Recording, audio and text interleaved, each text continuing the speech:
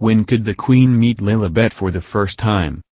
The Queen has yet to meet her great-granddaughter Lilibet Mountbatten-Windsor, and her parents Prince Harry and Meghan Markle did not attend Prince Philip's memorial today. So when will the Queen get to meet the Sussex family's newest addition? The Queen was joined by several members of the royal family today, March 29, for a service of thanksgiving for the life of Prince Philip, the Queen's beloved consort of more than seven decades. But one member of the royal family noticeably absent from the proceedings was Prince Harry, the Queen and late Duke's grandson, who now lives in the U.S. Why did Prince Harry miss Prince Philip's memorial service? Earlier this month it was announced the Duke and Duchess of Sussex would not be visiting the UK for Prince Philip's memorial service at Westminster Abbey. Harry is currently pursuing a legal challenge against the Home Office after being told he would no longer be given the same degree of personal protective security when visiting the UK, despite offering to pay for it himself. The High Court was previously told the Duke wants to bring his children to the UK, but does not feel safe when visiting under current security arrangements. The Duke is challenging the February 2020 decision of the Executive Committee for the Protection of Royalty and Public Figures, RAVEC, which has delegated powers from the Home Secretary. Harry and Meghan lost their taxpayer-funded police protection in early 2020 after they stepped down as working members of the royal family. Harry briefly returned to the UK for Prince Philip's funeral last April. He also attended the unveiling of a statue of his mother Princess Diana at Kensington Palace last July, on what would have been her 60th birthday. It is understood his car was pursued by photographers as he left an event in London during his summer visit. When could the Queen meet Lilibet? While Harry did not visit the Queen and royal family for Philip's memorial on Tuesday, a spokesperson for the Duke said earlier this month that he hopes to visit the Queen as soon as possible. Understandably, Harry and Meghan are likely eager to introduce their daughter to Harry's grandmother, with the couple's love for the Queen evident in their decision to name their daughter after her nickname Lilibet. But the Queen has not traveled abroad in recent years and now remains largely at her Berkshire base of Windsor Castle and commentators have speculated over whether Harry and Meghan will return to the UK anytime soon to introduce Lilibet to the Queen. Speaking about whether the Queen will ever meet Lilibet, royal expert Richard Fitzwilliams told The Sun Online earlier this month, it's increasingly unlikely. If they don't bring Lily over, then obviously that won't happen. It's all something that's clearly not going to be resolved in the foreseeable future and it doesn't seem like they're going to come over. Many royal fans will be hoping that Harry and Meghan could return to the UK this summer for the Queen's Platinum Jubilee celebrations, which would mean the Queen could meet Lilibet for the first time.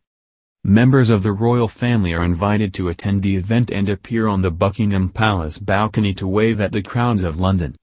The celebrations would also provide the perfect opportunity for the Sussexes to introduce Lilibet to her grandparents Prince Charles and Camilla, Duchess of Cornwall.